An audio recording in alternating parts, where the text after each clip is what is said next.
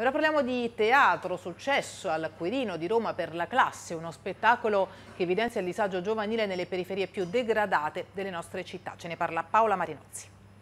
Aspettano acquattati come animali il momento giusto per saltare su una nave o nascondersi sotto a un camion. Ma li ha visti? Eh? Ce n'è di tutti i tipi. Appena fuori la città c'è un vasto campo profughi, in fuga da una sanguinosa guerra civile. Lo chiamano zoo e sta deteriorando il tessuto sociale già sull'orlo del collasso. A pochi chilometri, in una scuola superiore di periferia, Albert, insegnante di storia, ha l'incarico di tenere un corso di recupero disciplinare per sei studenti problematici. Nella classe c'è rabbia, malessere, ma il giovane professore riesce a poco a poco a far breccia nel loro disagio. Parla la nostra lingua? Mi capisci quando parlo? Io non ti do nessun foglio presenze. No? No. Che problema c'è? Me lo prendo da solo. No, È quello di far capire ai ragazzi l'importanza del fallimento.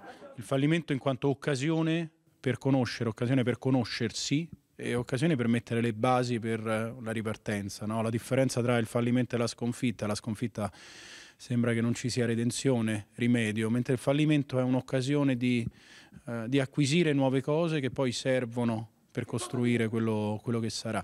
Il testo del drammaturgo Vincenzo Manna attrae ovunque una platea di giovani, seguono con interesse questa storia legata ai nostri tempi ed è stato anche un esperimento di data storytelling, cioè abbiamo fatto un, delle interviste a dei giovani tra i 16 e i 19 anni questa è un po' una particolarità anche dello spettacolo, ci siamo documentati, coniuga vari registri, il drammatico, l'ironico, il tragico, eh, perché franta e variegata la realtà contemporanea che stiamo vivendo. Funziona così.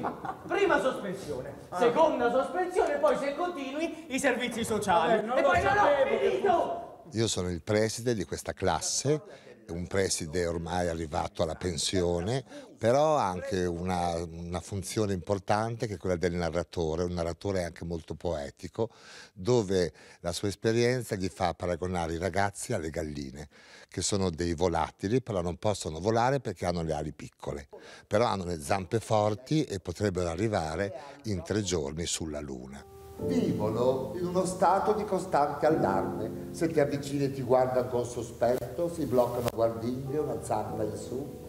Ma in realtà conducono una vita relativamente tranquilla, mangiano, dormono, s'accoppiano.